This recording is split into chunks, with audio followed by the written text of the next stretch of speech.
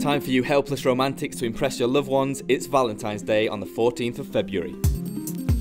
Get your restaurant reservations in early to avoid disappointment, or why not show off your chef skills with a gourmet meal cooked at home? If you're going to be on your own this year, there's no better night to head over to your Halls bar to maybe meet your future Valentine or just enjoy being single with your friends. Whether it's red rose petals, presents, or posh nosh, be sure not to forget Valentine's Day this year and make it a night to remember.